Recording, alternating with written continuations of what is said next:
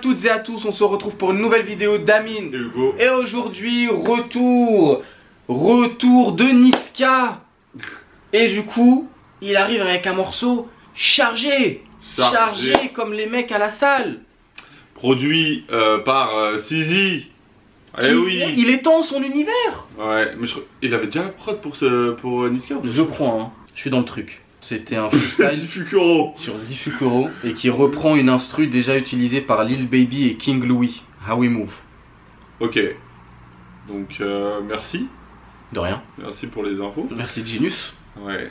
Euh, donc euh, bah voilà, Niska, ça fait un petit moment hein, qu'il a pas sorti un projet. Je crois que c'était euh, Monsieur Sal. Il a fait ses petits featuring par-ci par-là. Et là, il Il y a six mois, il, il y avait Il sort un avec Madran. avec Madran. voilà. Et là, il revient. Et il revient euh, du coup avec ce morceau chargé. Ouais. Donc qui annonce du coup un album, c'est ça un Je projet pense, hein. Ouais. Ah oui. Il y a un merch. euh, Il y a un merch. T-shirt. Single avec l'instrumental. Ah ça j'aime bien ça. Voilà. On est sur une. euh, On veut de On l'instrumental. est sur un packaging à l'ancienne, hein. Ouais, c'est vrai.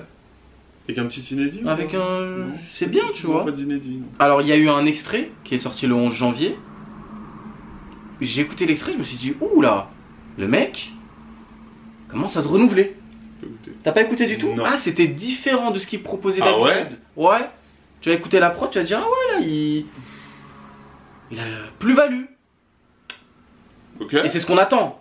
En vrai, c'est ce qu'on attend de Niska, qui se renouvelle un petit peu, tu vois. Oui, c'est clair. Surtout que sur Monsieur, euh, sur Monsieur Sal, on sentait que tu sais, ça tournait un peu en rond sur certaines, euh, sur certaines recettes en fait. La formule, on sentait que la ça formule commençait à Voilà. un peu euh, à s'expirer. Ah, c'est Donc- sauré, comme on dit.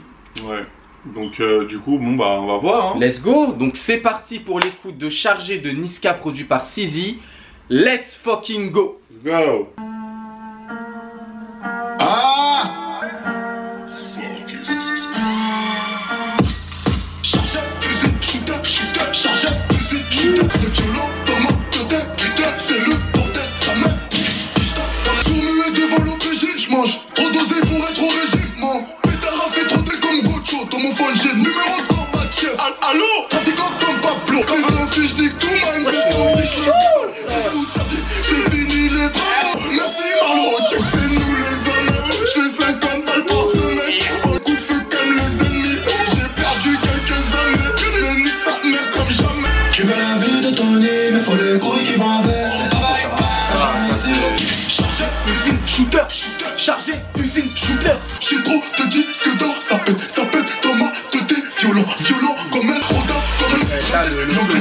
showbiz, bitches, everyday sunshine. J'aime quand elle bouge sa graisse. Pendant que j'en fume la pièce. Oh my god, j'ai du sang sur ma fesse. Faut toujours que je gratte ma pièce. Faut toujours que je gratte ma pièce. Il faut les couilles qui vont avec. Tu nous racontes de la merde. T'as jamais vendu porte, tu nous racontes de la merde. Musique. La prod de- musique, shooter. Oh, la chose, c'est bâtard. le- Avec les, les drums. Avec les drums. Là, tu ressens l'urgence. Toi, tu fais un remix avec Valve là. ouais. Wow, wow.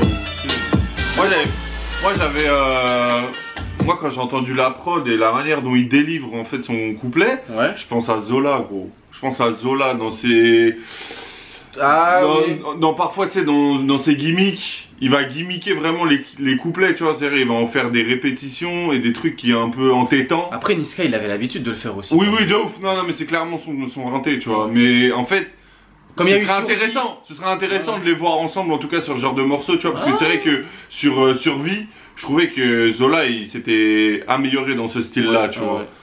Euh, En plus, les prods étaient gravés, purés. et tout. Ouais, ouais, ouais, clairement. Donc, euh, ouais, why not, hein. Mais euh, ouais, pour en revenir au son, euh, c'est un très gros banger. Franchement, j'ai trouvé l'approche de Niska sur les couplets vraiment très très intéressante, très incisif. Voilà, il laisse aucun, aucun répit à la prod et en même temps, tu sais, tu sens une gestuelle qu'il amène, tu vois, avec, avec son flow. Petit bémol sur le refrain qui est assez prévisible, tu vois, ce- cette voix autotunée, euh, recherche hit, machin, ça, c'est- ça c'est du Niska, tu vois, euh, mais bon, malheureusement, c'est un truc qui m'a un peu gonflé, tu vois. Ouais. Donc euh, je m'attendais à un refrain bah, qui me surprennent totalement, tu vois, parce que Mhm. déjà les couplets sont très bons. Donc voilà, c'est vrai que c'est mon petit bémol.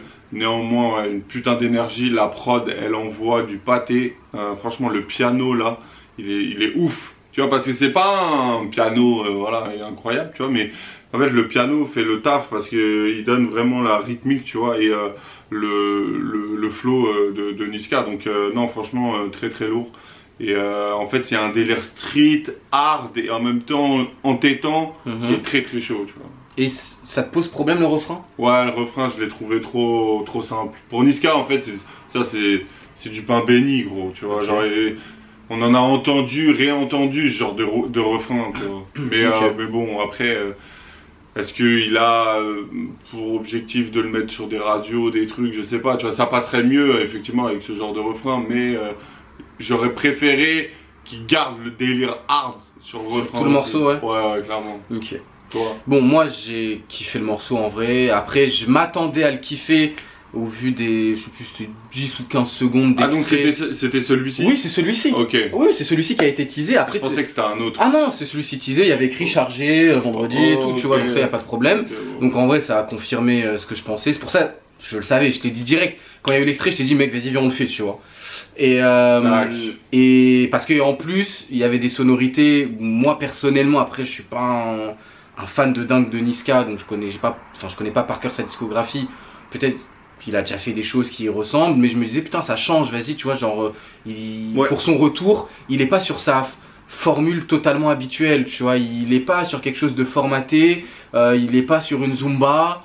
Euh, là, vas-y, t'as vu, c'est hard. Il y a un côté, euh, t'as vu, dans les, dans l'ambiance que Sizi a mis au niveau de ses drums, il y a un côté usinal un peu qui me fait penser à Xe, Ah ouais, ouais, c'est vrai. qui me fait grave penser à Xe, mais voilà, avec, euh, avec, euh, je sais pas, une des sonorités au niveau des percussions que c'est un, que je trouve assez, euh, enfin un peu plus évolué, tu vois. Mm.